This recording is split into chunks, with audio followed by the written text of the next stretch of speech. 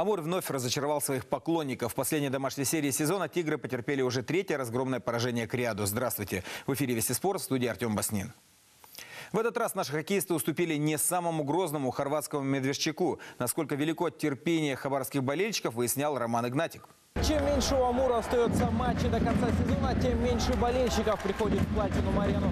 Шансы на плей-офф окончательно потеряны, а игра в последних матчах не впечатляет. Поэтому на трибунах только самые преданные болельщики и счастливые обладатели сезонных абонементов. Такое чувство, что Амур устроил естественный отбор для своих почитателей. Мол, за игрой «Тигров» должны наблюдать только психологически устойчивые болельщики. А таких в Платинум-арене пока в достатке. Команда разгромно проигрывает третий матч подряд, а им все нипочем. Но все равно мы свою команду любим. Мы хотим, чтобы она выигрывала.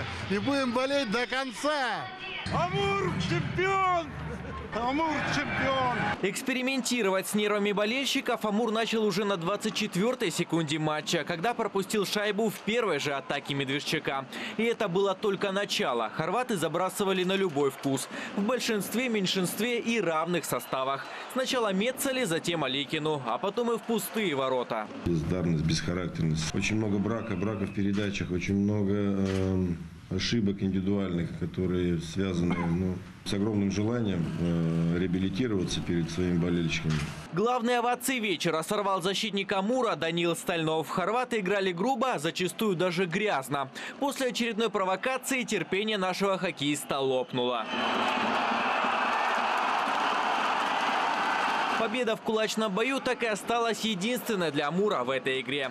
На 6 шайб Медвежчака «Тигры» ответили лишь тремя. Можно сетовать на удачную игру голкипера хорватов, но скорее нападающих обровчан были недостаточно убедительны. Команда соперника вратарь первый раз играет. Мы из него делаем третьяка.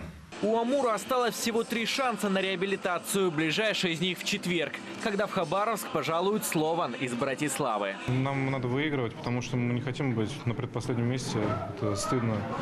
Вот. Это не наше место, мы должны выше быть. Роман Игнатик, Сергей Забелин, Вести, Спорт.